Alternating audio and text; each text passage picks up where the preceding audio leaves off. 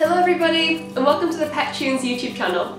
Today we're going to be talking about why dogs howl. So whether you find it cute, annoying or maybe a little bit of both, there's no denying that dogs howl. But do you know why they howl and do you know what they're trying to say when they do howl? Well that's what we're going to be talking about today but first be sure to leave us a comment down below telling us whether your dog howls or not or if they're quite a quiet dog. Taff is quite a chatty dog, he likes to kind of make little noises and grunts and barks every so often, but I don't think I've ever heard him howl. He's not really a howler. We'd also like to give a comment shout out to Nikki Aerobones who commented on last week's video.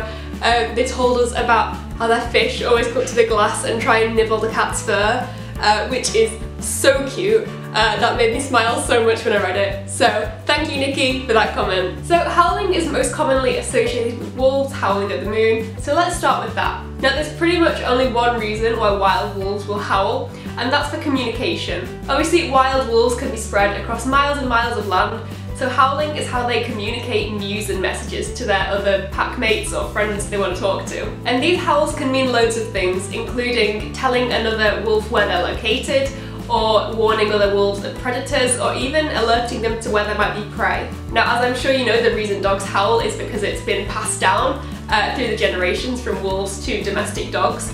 But domestic dogs don't actually howl for communication purposes. Pet dogs normally have their family or their pack kind of all in one space, in one house, so they don't really have any reason to howl to communicate across long distances. Although you might notice your dog howling along with sirens from like police cars and fire engines, and it's actually thought that dogs do that because they mistake the sound of the siren for another dog howling. So if domestic dogs don't howl to communicate, why do they howl at all? Well to be honest, most pet dogs won't really howl, although certain breeds like Huskies, Beagles and Basset Hounds definitely will. Now these dogs that do howl often do it in response to sounds, uh, for example the noise of the TV or maybe someone singing, um, and it's thought they do this for loads of different reasons. It can be anything from the fact that they're enjoying it and they want to kind of join in and express their excitement to frustration and anger and wanting the noise to stop. So if your dog is a howler, pay attention to the kind of little body language keys they're giving you uh, when they howl so you can figure out what howl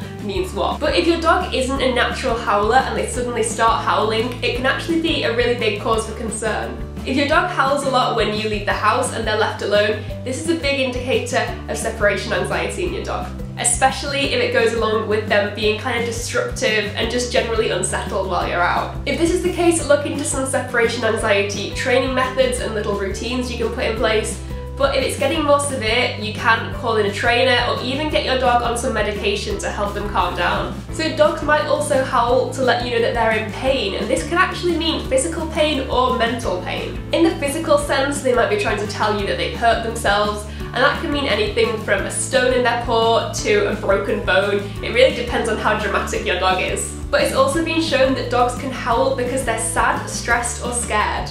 This is one of the reasons why your dog might howl if they have separation anxiety, but it can also be developed as a response to a traumatic event, for example if they lose a really close friend to them. If you think your dog is howling because they're hurt, just give them a quick check over for any obvious injuries, and if you think there could be something more serious or you can't figure it out right away, it's always better to take them to a vet. But if you think the howling is out of emotional distress, definitely consult a trainer and see what they say, or even try and get your hands on a doggy psychologist.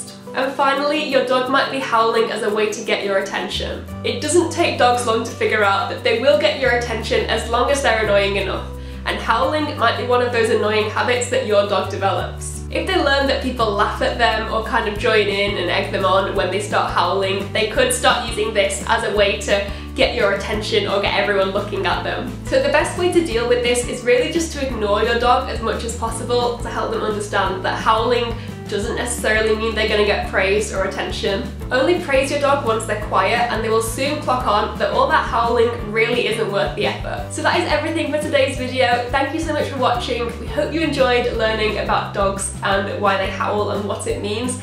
If you did enjoy the video, be sure to leave us a like and a comment down below. Remember, we are doing comment shoutouts every week, so definitely leave a comment to be featured next week. Um, also subscribe to the Pet Tunes YouTube channel for loads more pet content going up all the time. We are going to head off now, so we'll see you next time. Bye!